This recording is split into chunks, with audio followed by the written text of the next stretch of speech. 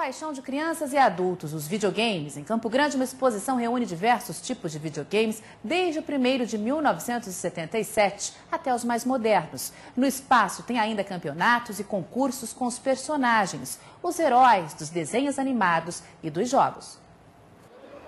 Quem vem a esta exposição de videogames dificilmente vai resistir à tentação de não jogar viagem no tempo.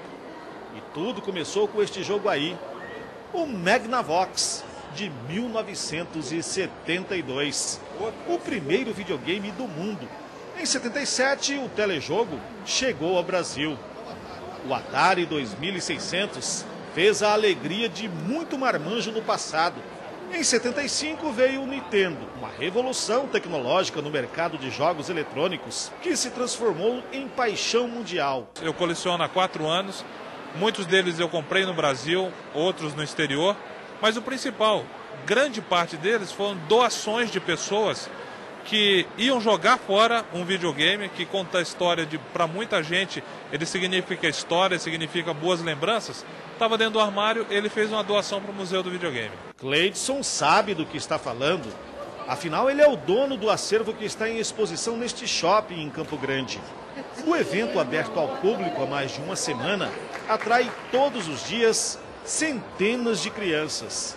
E olha que por aqui aparece criança de todas as idades. Desde criancinha eu jogo videogame e é uma, é uma paixão que não tem como, como soltar, né? não tem como largar. Quando criança, Marcel teve quatro videogames em casa. Ainda guarda este aí. Hoje um trambolho para quem tem acesso a novas tecnologias. Mas na época, o produto que veio de longe fez a cabeça de quem é ligado no jogo virtual. Ele é um, um copiador de jogos de, de, Super Nintendo, é raridade. Eu acredito que aqui ninguém vai ter, né? Isso aí meu pai trouxe da, trouxe da Coreia quando ele foi para lá. E já está comigo desde 88 essa peça aqui. Funciona 100%, tem vários e vários disquetes em, que funcionam perfeitamente dele. Hoje os videogames ganharam novas versões, mas continuam conquistando o mesmo interesse, o mesmo olhar, a mesma expressão do passado. E diante de tanta tecnologia no mundo moderno, os jogos virtuais de 30, de 40 anos atrás parecem simples, nada comparado ao que se tem hoje. Cor, som e grau de dificuldade. Quem vem à feira pode até participar deste campeonato aí. Futebol virtual. Brincadeira levada a sério para gente de todas as idades. Quando o personagem da ficção se transforma em realidade?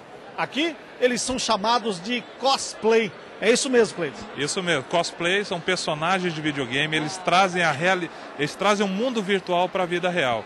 E, e, é, uma, é uma tribo que se ornamenta, investe e transforma esse evento num lugar mais bonito ainda. Eles capricharam nos modelitos.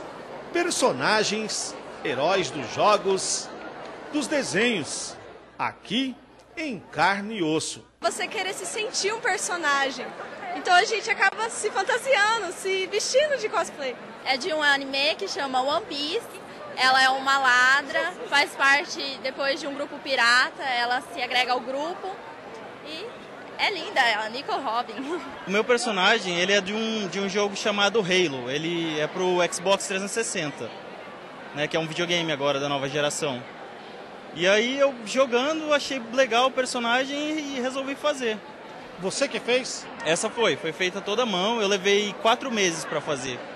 Quatro meses e um bom investimento, né? Não, não saiu barato. Faz uns quatro anos já que eu faço cosplay, faço curso de japonês e tô tenho intimidade com a cultura japonesa. Você fala japonês? Falo. Então fala aí que esse cara aqui é feio, fala aí. Hum, não, que ele é feio? É, não, é tipo, feio. vou falar outra coisa. Fala aí. Maidoyobi Nihongo é, Benkyo shimasu. Que... que é, significa todo sábado eu estudo japonês. E é claro que o cosplay também encanta os pequeninos. Olha só quanta criançada bonita. Quem é o personagem que você está vestindo aqui? Eu sou a bruxinha Sabrina. E onde é que você conheceu essa personagem? É, que eu, é quando eu era pequena, eu assistia o filme, o desenho da Sabrina. E eu gostava. E agora eu já tô fantasiada de tanto eu gostar. Você é princesa mesmo. Obrigada. Um mundo mágico, de fantasia, onde a ficção se mistura à vida real.